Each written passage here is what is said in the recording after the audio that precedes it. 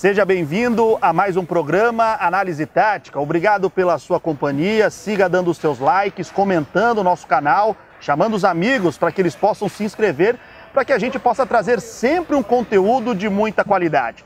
O nosso convidado hoje, ele saiu do futebol e passou para o nosso lado, para o lado do jornalismo esportivo.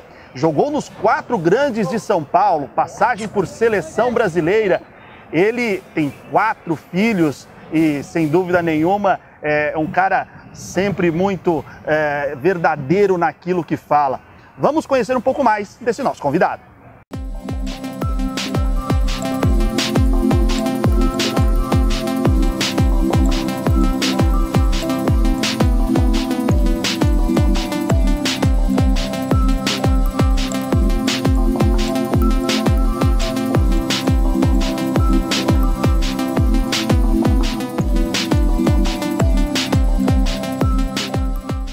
Comigo, José Ferreira Neto. Tudo bem? Obrigado por atender a gente, hein? Imagina.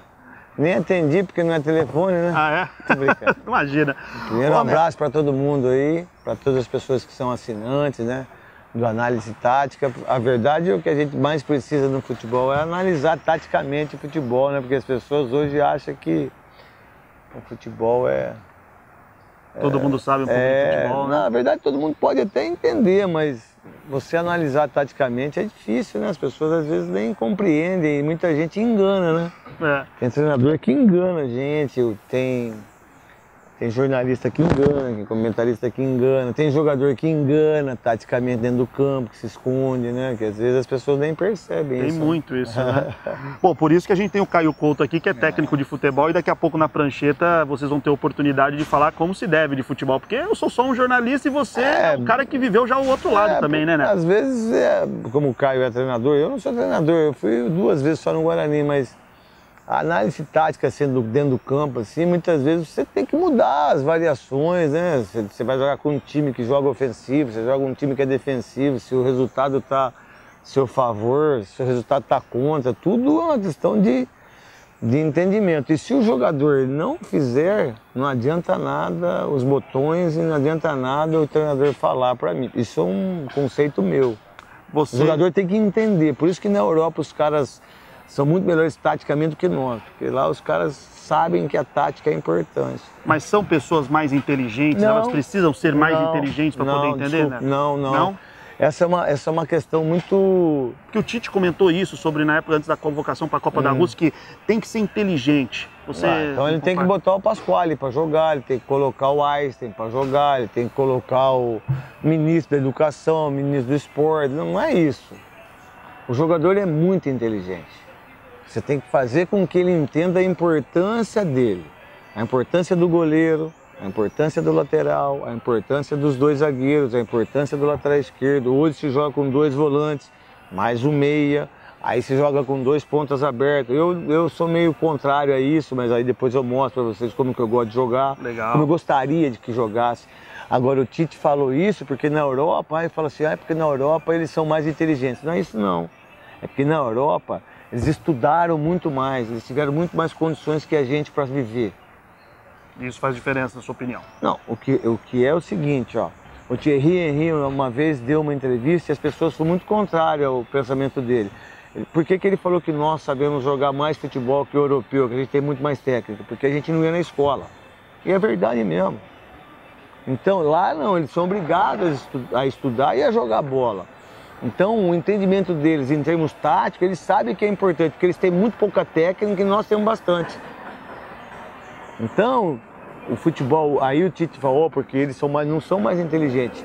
Por que que, por exemplo, vai, o Filipão veio agora no Palmeiras, fez um esquema tático teta, fácil de entender.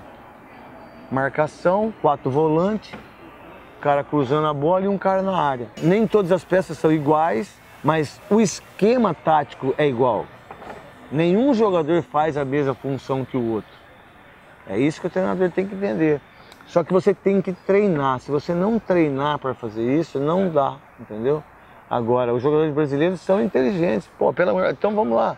Você acha que o Newton Santos não é inteligente? O Rivelino não era inteligente? O Zico, Cerezo, Falcão, Luizinho, Mauro Galvão, Luiz Gotardi, Júlio. César. Então, se eles sabiam fazer, a parte tática. Por que, que hoje a gente não pode fazer a parte tática? É porque os treinadores hoje, eles acham que eles são mais importantes do que a tática e do que o jogador. Esse, essa é a opinião do Neto. Neto, você sempre foi um cara que nunca teve medo isso como comentarista, acho que como jogador já era assim, né? Você tem um cara de, não sei se pode talvez ser dito eu... gênio forte, mas você sempre se impôs e colocou a sua Tal, opinião. Talvez eu tenha medo, muito medo. Talvez, medo? É, talvez eu tenha muito medo, mas eu, eu, tenho, eu sei controlar o meu medo. Porque quem não tem medo não consegue fazer as coisas. Essa é a diferença. Talvez eu tenha medo, talvez não, eu tenho medo. Mas eu sei até onde o meu medo, ele, eu, eu consigo controlar o meu medo, entendeu? Às vezes eu tenho medo de falar as coisas que eu falo na televisão. E por que fala então? Não, não, mas eu sei controlar o meu medo. Tá, entendi. Porque você acha Porque que a eu... verdade tem que estar acima Isso, do teu medo. Exatamente, a verdade tem que estar acima do meu medo. Por exemplo, você acha que eu tenho medo de andar em determinados lugares aqui em São Paulo? Eu tenho medo, mas eu não posso deixar de andar. Eu tenho medo, às vezes, de sair com os meus filhos para ir num shopping. Mas eu não posso passar esse medo para eles. Você já sofreu algum tipo de situação, né? Que você olhou, olha para trás e fala, caramba, que, não. que enrascada. Não, não. Tenho. É, esse medo, assim, de. É, de eu sair ou de eu ter feito qualquer tipo de. Não tenho medo de nada disso, assim. De eu fazer. É, o que eu quero, assim, dizer até para as pessoas que estão assistindo, é, por exemplo, nós estamos com o Caio aqui que é treinador. É, se a gente for fazer ali, se a gente fizer um plano tático, a gente tem medo que não dê certo. Mas o medo não pode, suport, não pode superar a minha consciência e o meu trabalho, porque senão eu não faço. A tua confiança de que Isso. aquilo tá certo. Perfeito. Mas eu tenho medo que um. Vai, vamos lá, a gente vai fazer um esquema com dois volantes, dois meias e um centroavante fixo. Putz, mas será que é legal? Eu tenho que saber se o centroavante fixo ele vai conseguir fazer isso. Cara, mas eu tô com medo, eu falo com o auxiliar. Não, mas vamos fazer, vamos ter convicção disso. Se você não tiver convicção do que você vai fazer, você não dá. Se você vir aqui me entrevistar, se você não tiver convicção do que você vai fazer, que a gente vai debater aqui, debater, você não vai passar pro cara lá a verdade. Eu acho que isso é a convicção e eu também tenho medo de dar entrevista. Não, mas, mas não é medo de, de eu errar, desculpa gente, de eu errar ou de falar alguma coisa errada. Não, é, o medo tem que estar na, com a gente 24 horas. Só que a gente tem que saber controlar o medo. Quem não tem medo não erra o pênalti. Justo, justo. Deixa eu te perguntar uma coisa, Neto. Você teve, talvez, não sei se você concorda, final da década de 80 início de 90 como teu grande ápice como jogador. Foi medalha de prata em Seul com a seleção brasileira, né? E campeão brasileiro em 1990. Você em vários lugares eh, já declarou que a Copa do Mundo de 90 era a sua Copa do Mundo. Até Nas fez uma duas. declaração. 90 94. 90 94. O Puskas chegou a questionar na época, um húngaro, que hoje é. tem o prêmio Puskas, ele questionou por, por que, que, que, que aquele não... jogador que bate tão bem falta, de é. tanta qualidade, não estava Gerson, na Copa da Itália. O Gerson questionou bastante. O Gerson foi, Gerson e Puskas foram os que mais questionaram a minha não convocação para a seleção. Uma decisão de, única e exclusivamente do Sebastião Lazzaroni ou você acha que teve alguma outra coisa além não, da é decisão dele? Não, isso foi político. Pô. A seleção sempre, em todos os tempos, teve com jogadores convocados politicamente, ou por interesses comerciais, ou por interesses econômicos, ou por interesses de clubes, ou por interesses do gerente, ou por interesses do presidente, ou por interesse de determinadas pessoas. É porque não, é, é inadmissível eu não ser, não só eu. Três jogadores deveriam ser convocados em 90. Veloso, João Paulo, ponto esquerdo do Bari, e eu, nós três. Hoje é. você tem mágoa dessa não. situação? Você poderia eu... ter na tua carreira uma Copa do Mundo, Neto. Eu sei disso, não, isso seria super importante para mim, né? Mas mágoa eu não tenho de ninguém no meu coração. Não tenho mesmo, cara. Mas qual sentimento vem para você quando você lembra dessa situação? Na verdade, eu tenho um sentimento de, de, de, de, repúdio, sabe? Eu tenho um sentimento de, de vergonha é, de um país que, que, que, deixa isso acontecer. De, uma, de um país não, desculpa. De uma, de uma instituição privada que deixa de levar o cara que foi considerado o melhor jogador do país, que foi eu, um dos melhores goleiros da história do Palmeiras, que foi o Veloso, o João Paulo, o melhor jogador estrangeiro da Itália na década de 90 que jogavam Gullit, Van Basten, Baresi, e o cara fazer isso com o povo brasileiro, é vergonhoso. Hoje, por exemplo, se você fizer uma pesquisa na análise tática aí, olha só, você está me perguntando de 90. Quantos anos já aconteceu isso? São 28 anos. 28 anos. Você, se você perguntar quem os reservas de 90, pouca gente sabe. Sim, Todo mundo pergunta por que, que eu não fui para convocado. Pô, alguma coisa tem de errado, né? claro, sem Isso dúvida. é um absurdo. Agora, ele vai falar assim, não, porque ele era gordo, ah, porque não sei o quê. Ele tem todos os, os adjetivos que ele queira falar. Mas ele foi extremamente é, calculista em relação a isso, bairrista em relação a isso, né? E mostrou que ele era um treinador extremamente é, fraco. Porque se você fizer o que o Lazzaroni fez como treinador, qual que é o grande, a grande foi a Copa, foi a Copa América que ele ganhou em 89, Isso. a classificação. Sem isso, ele foi treinar futebol, é, a Fiorentina foi mandado embora. Em todos os clubes que ele passou, ele não marcou presença nenhuma como treinador. Eu não. Eu é, me tornei um jogador ídolo do Corinthians, ídolo do Guarani, me tornei um comentarista e apresentador desses últimos 20 anos que eu trabalho aqui na Band, faz 20 anos que eu trabalho aqui né? E o Lazzaroni, o resto da vida dele, enquanto ele estiver vivo, qualquer pergunta, a primeira pergunta para ele, em qualquer situação da Copa de 90, por que, que você não levou o Neto? Tu acha que ele vai levar isso pela vida Não, inteira? ele tá Já fudido, leva, né? não sou eu. Quem tá fudido é ele. Ele que se fudeu. Porque eu não, eu só tenho que responder porque eu, olha, eu não fui por causa disso, disso, disso. E ele fez uma coisa que não foi bem para ninguém, por exemplo. Cara, por que, que o Tite não levou o Arthur pra, pra, pra Copa 2018? Você acha que essa Casi- decisão é política Cara, também? saindo no Casimiro e depois de um mês o Arthur vai pro Barcelona. Já se sabia, né? Porque já se falava. Isso! Pô, aí no jogo que mais precisou de um volante, nós não a contra a Bélgica, o treinador, aí vem da análise tática, que o Caio pode falar, melhor do que eu. Aí ele coloca com o Belaine, arrebentou com a gente só uma substituição tática. É, O Fellaini Nós- entrou o lá. Fellaini foi, entrou e modificou a forma de jogar toda. E aí saiu o Casimiro, você não tinha outro volante, botou o Fernandinho que disputou duas Copas do Mundo. O Thiago Silva, três Copas do Mundo. Ah, você tá de sacanagem. Aí eu não disputei nenhuma Copa do Mundo, o Alex não disputou nenhuma Copa do Mundo, o Djalminha não disputou nenhuma Copa do Mundo, o Marcelinho Carioca não disputou nenhuma Copa do Mundo. Isso é uma vergonha. O Evair não ter ido pra Copa de 94. Ninguém fala isso. Ele foi em todas. E o Evair não foi em 94. Ah, então você acha que não tem o lado político? Como é que não tem um lado político? Os três últimos presidentes da CBF, um tá preso, o outro foi banido e o outro não pode sair do Rio de Janeiro. Você acha que tem lado político ou não? Você acha que tem esquema em relação a. Ah, pelo amor de Deus. Já Só tá- trouxa, acho que não. Já que nós estamos falando de seleção brasileira, o Neymar faltou cuidado com o Neymar na Copa do Mundo? E se, e se não, e se conduzir acho- o Neymar da maneira como foi na. Copa de 2018, isso pode dar problema ainda para 22? Na verdade, sentido- eu acho que teve muito cuidado. Ah, é? É, você entendeu? Protegeram demais, É. bajulam demais. E- Não, acho que é, além, além disso, Uhum. acho que teve muito cuidado da parte física, técnica. Acho que tinha que deixar o porco rolar, sabe? Devia deixar ele jogar, devia deixar ele treinar, devia deixar ele é, se, se expor mais. Né? Quando ele quando é, ele estava jogando, deveria ter tirado ele quando ele estava jogando mal para dar uma, uma condição melhor para ele. Deveriam ter ajudado mais ele. Ele foi ele já, olha, já teve a responsável de 2000 2014. Isso. Não ganhou. Não. Tá. Tudo bem que o Zúñiga arrebentou com ele. Sim. Ele não teve culpa, mas os outros também não ganharam nada aqui. 2018, uma vergonha. Era a Copa pro Brasil ganhar com o pé nas costas. Com o pé nas costas. Essa é a Copa mais fácil de todos os tempos para ter vencido o Brasil. A mais fácil de todas. E o Tite não venceu. Em 2022, sabe o que vai acontecer? Eu tô falando agora para você, olha o que vai acontecer. Ele vai achar que o Vinícius Júnior vai jogar, ele vai achar que o Rodrigo vai jogar, ele vai achar que o Arthur vai jogar, mas eles vão chegar tão inexperientes na Copa do Mundo, diferentemente da Bélgica, da Croácia, da Espanha, da Alemanha, que tem um poder de.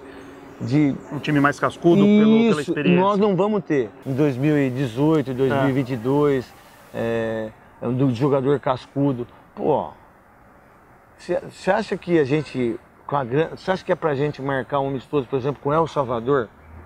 Agora, né? É El Salvador e o outro não sei quem Estados que é. Unidos. Estados Que nem foi pra Copa. Aí os caras lá marcam com a Alemanha. Então, olha só, os caras já estão marcando amistoso. Holanda e Alemanha, Inglaterra e Itália, nós com El Salvador. Pô, se eu sou o Tite, eu faço o quê? E o Galvão Bueno tá certinho. Ó, eu não quero ser amistoso. Eu quero jogar contra a Argentina. Por quê? Porque aí eu vou fazer com que esses jogadores que eu convoquei tenham, sejam, e, é, e aí eu vou ter condição. Aí eu fico mentindo pros caras Aí eu faço eliminatório, jogo contra o Equador, contra o Chile. Contra... Isso que é um nível muito mais baixo Isso, em relação é só ver o que acontece na Copa. A Copa do Mundo, no começo, é uma Copa do Mundo de merda. Você assiste porque você tem que assistir. É, porque a fase de grupos é onde você vai espanar. Porque são só sete jogos. Sim. Sabe quantos jogos vale da Copa do Mundo?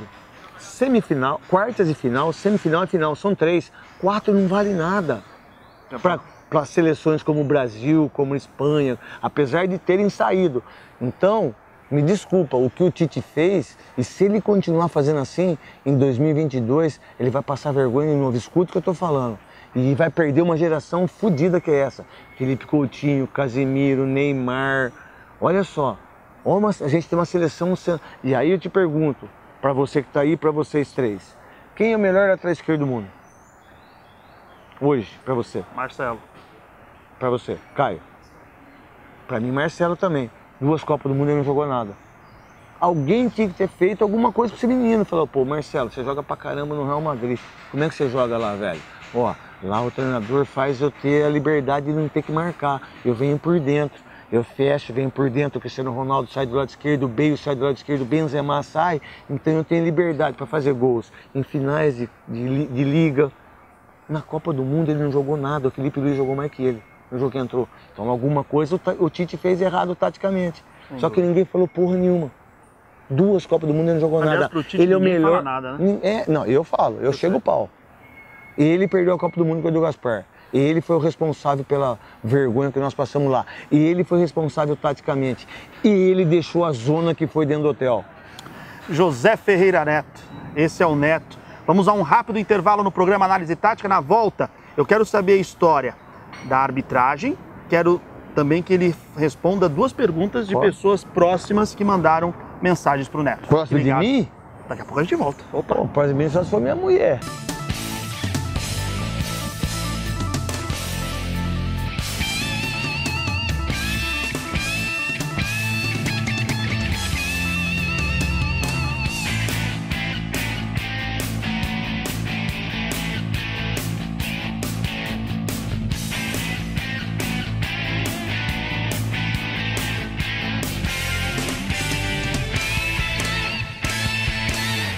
Estamos de volta, esse é o programa Análise Tática com o nosso convidado Neto. Nem sei e... qual é a camisa aqui hoje que eu tô. O que, que você tá aí?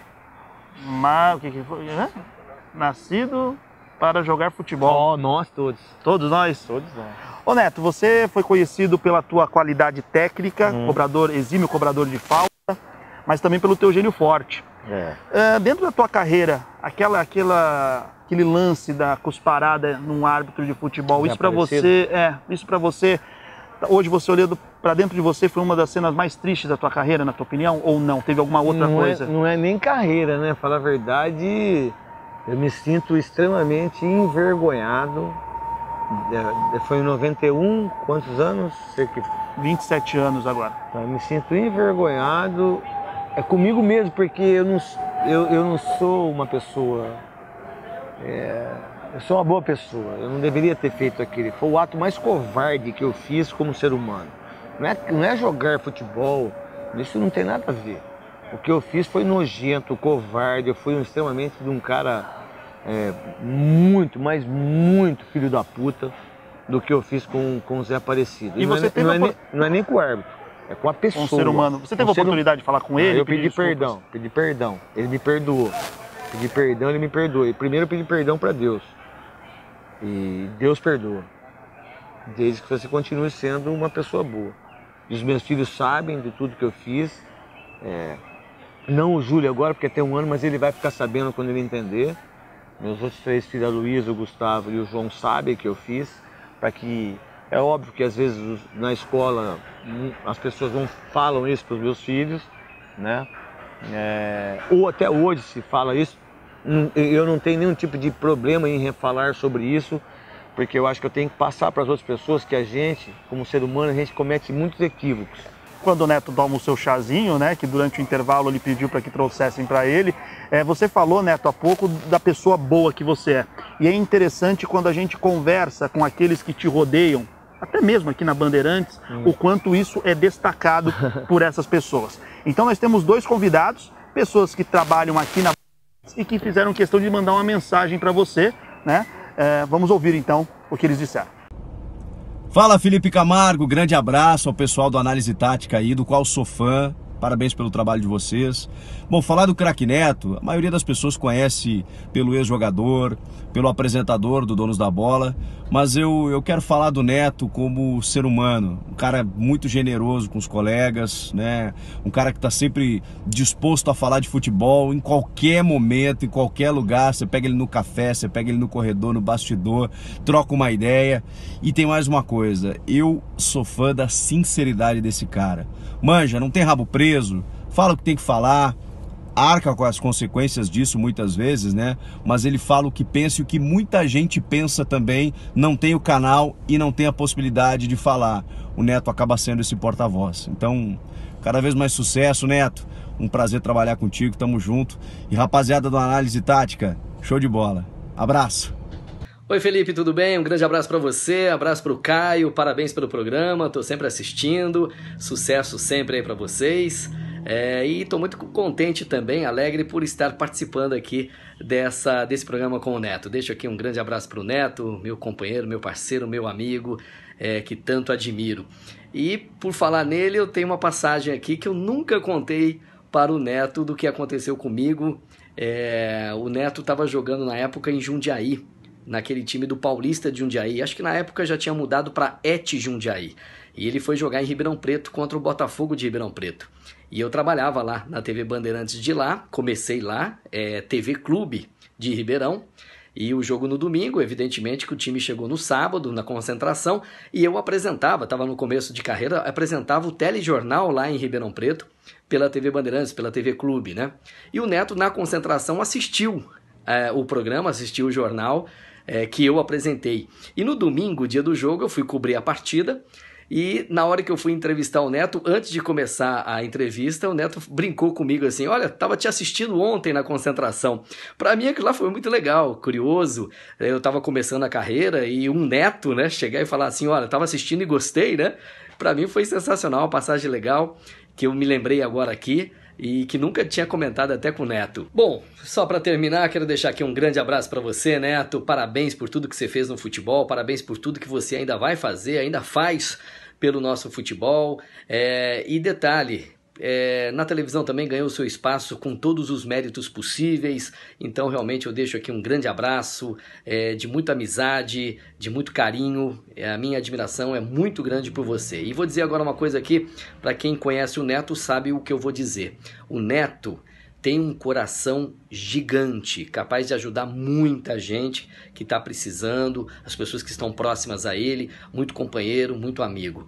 Netão, obrigado, forte abraço, sucesso sempre e conte comigo, tá bom? Valeu, querido, um abraço. Valeu, Caio, valeu, Felipe, parabéns mais uma vez e sucesso, tá certo? Valeu, gente. Chico Garcia, William Lopes. O homem do das mulheres sem mule... com moletom. Eu prefiro Chico as mulheres, eu prefiro as mulheres sem moletom. O livro dele teve na Bienal. Com, com moletom, mas sem moletom é melhor. Às vezes com moletom, pra você dar uma olhada, o Chico é um amor de pessoa. Pô, obrigado, Chico, de tudo que você falou de mim. Aí depois você vê o William Lopes, que é de Ribeirão Preto, que é o um menino que apresenta aqui o programa no Band Esporte, que trabalha na Band há muitos anos, que é meu amigo particular. E ele. E o William Lopes tem uma coisa muito legal, assim, porque quando ele chega perto de mim, ele ele, ele não chega como amigo, porque eu sou amigo dele. Ainda chega como Mas, fã? É. É foda você. É... A história que ele conta é basicamente é, já desse, desse sentido. Mas faz né? muitos anos, foi em 97, foi, porra. Foi, vai, vai 20 anos, 21 porra. anos vai fazer, né? E todas as vezes que eu chego para conversar com ele, é mais, ele me, ele, me, ele me via ainda como uma coisa. Eu não sou, eu sou amigo dele. Mas é engraçado, né? é, né? Quando né? você vê o ídolo, é. você não consegue personificar muitas isso, vezes. Isso, e você tem que entender isso. A primeira vez que eu vi o Pelé, puta que pariu. Eu achei que ele tinha dois metros de altura, que ele era um. Mas ele é um. Nosso tamanho. Nosso, menor que nós. É. Mas só que ele é um monstro. E aí você chega perto de um cara que você nunca imaginou na sua vida. Você... Vou dar um exemplo. Eu quando cheguei perto do Zico, e ele jogando pelo Flamengo e eu pelo Guarani, cara, eu falei, puta, eu tô jogando contra o Zico. Eu era a gandula do Guarani. Em 82 ele fez três gols no Maracanã. No, no... Brinco de ouro? Foi 3 a 2 o jogo. Eu, eu fiquei na arquibancada das 9 da manhã até as 9 da noite para assistir o Flamengo. Aí no ano seguinte eu joguei contra ele. Tudo bem que eu me fudi. Foi 5 ou pro Flamengo, mas eu fiz o gol de, do Guarani. Mas só de. Olha o meio-campo do Flamengo. Andrade, Adílio e Zico. Pô, eu Fraco, tava. né? Sabe como que eu vi esses caras? No canal 100, no cinema, em Santo Antônio de Posse. E aí, eu com 16 anos, eu estava jogando contra eles. Olha que coisa, que, que coisa mais linda que Deus proporcionou para mim, que eu proporcionei para mim, que o Guarani proporcionou para mim. Como é que eu podia imaginar isso? Falei, meu Deus do céu, como Deus foi tão Generoso, né? é, eu não gosto muito de falar de religião porque cada um tem a sua. Eu Claro. sou católico, respeito todas as outras e respeito quem não é, mas, pô, eu já consegui tanta coisa na vida, cara, que eu nunca imaginei que eu pudesse. Você ser ter. realizado hoje. Não, em todos os sentidos. Pô, tenho quatro filhos. Fui Sou casado pela terceira vez. Pô, do caralho o cara que é casado três vezes, né? É três bucetas diferentes, uma da outra. Aí, e três mulheres diferentes, porque mulher nunca é igual. Aí, pô, trabalho na Band há 20 anos. Pô, tem um Cascão que é meu amigo aqui há 30. Que não é fácil lidar comigo, conviver comigo. Eu sou um cara difícil de conviver comigo. Pô, sou ídolo de um dos maiores clubes do mundo, que é o Corinthians. Sou ídolo do Guarani. Eu sou o 24 artilheiro da história do Corinthians. Eu acho que eu sou o sexto ou sétimo da história do Guarani. Pô, consegui realizar o sonho da minha família, de poder. Consegui realizar o meu sonho de poder ter um par de tênis. Que eu dou valor pro chinelo, velho. José Ferreira Neto, que história, né? Dá. Ficamos um bom tempo batendo papo aqui. Você terá a oportunidade de ver tudo isso, é, viu tudo isso. E agora, para a gente finalizar, vem aí o Caio Analisa Neto e Caio Couto falando. Vai ser diferente? Corinthians, já já na prancheta do Caio Couto.